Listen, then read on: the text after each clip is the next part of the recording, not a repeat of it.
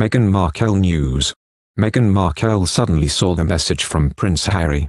The message tells Meghan Prince Harry's habit of being funny and adorable when he switched smileys for emoticons.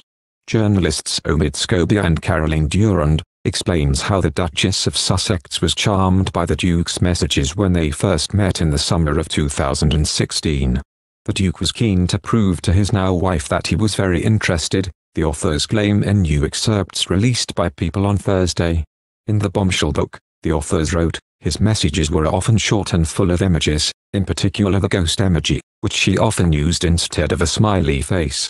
But Meghan found his texting etiquette funny and adorable, just like the prince, according to a source, Harry texted Meghan as soon as she got back to her hotel room, following a night with friends at London's Soho House.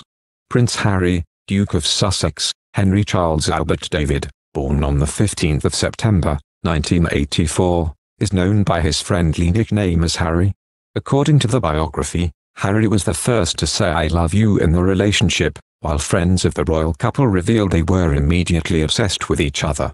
The pair felt a palpable attraction after their first date, with the Duke reportedly left in a trance and Meghan telling friends this could have legs.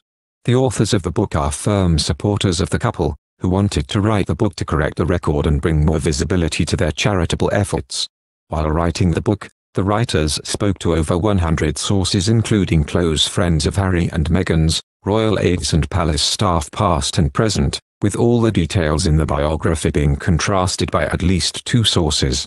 The title explores new claims about issues between the couple and the royal family, with a source saying it will open old wounds at a time when everyone wanted to move on.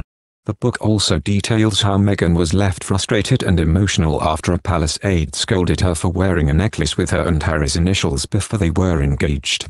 The pictures were taken in December 2016, just after Harry made a 1,700-mile detour to see her on his way back to the UK from his tour of the Caribbean.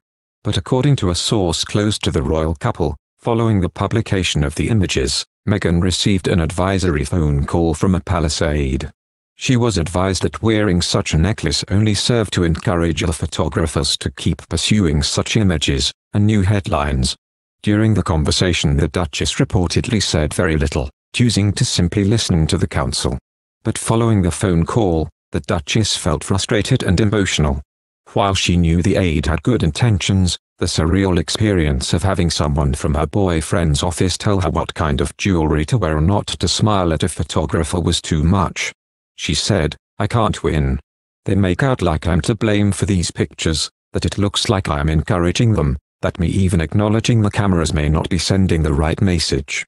Just yesterday, I didn't know what to say, everyone on social media said that I looked miserable. Because I ignore photographers.